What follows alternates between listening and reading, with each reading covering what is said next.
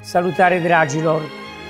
Ogni volta che si parla di Gianni Schicchi, di Tabarro o anche Suor Angelica è sempre un evento, sono opere eh, non solo straordinariamente eh, capaci di entrare nel cuore delle persone, ma sono anche molto difficili da, da realizzarsi. Quindi per me è sempre un evento.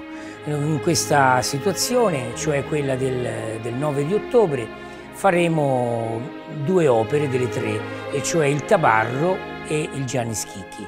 Puccini aveva pensato di realizzare un'opera in un atto unico, era già nei suoi progetti da diversi anni, già dai primi del Novecento. Poi quando c'è stata questa occasione dove il Metropolitan di New York gli commissiona proprio la, la composizione di, di un trittico, quindi di tre opere e insieme alla fanciulla del West è stata la migliore occasione di, di progettare bene questa, eh, queste sue idee.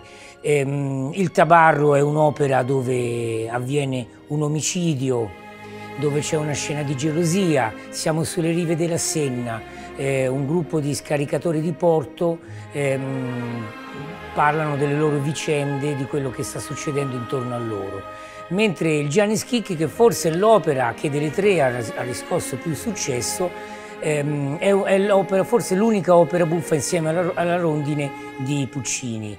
Eh, noi l'abbiamo ambientata con il regista Koshmaros nel, intorno alla, alla, al 1915-1916, quando originariamente l'opera è del 1200.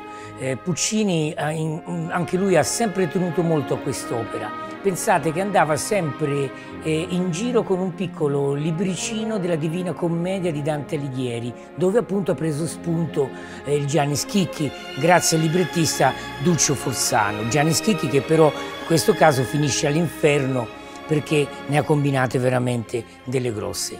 E allora io vi invito tutti a vedere come va a finire questa storia. Vi aspetto qui all'Opera Nazionale di Cluj. Grazie a tutti.